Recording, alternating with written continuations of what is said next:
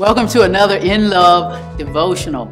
Today's text, Ephesians chapter 5, verse 2. Mostly what God does is love you. Keep company with Him and learn a life of love. Observe how Christ loved us. His love was not cautious but extravagant.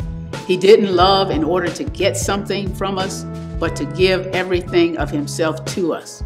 Love like that. Today we live in a society where the word love, the actions of love are just thrown around. We love everything. We love our dog. We love our cat. We love our car.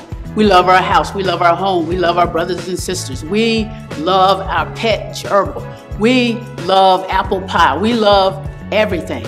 And we just throw that word around freely. Love can be bought. Love can be sold. Love can be had. Love can be pushed aside.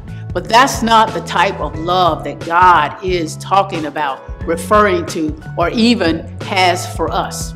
It's a little bit different.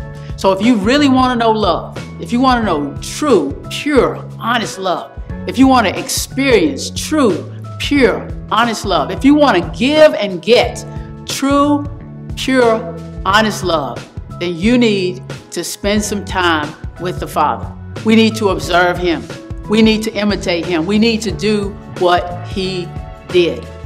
That verse that we shared today is so informative. It's so powerful because it tells us exactly how to find out or experience or give or get true love. If you're looking for love, real love, look no further than God. Love like He loved.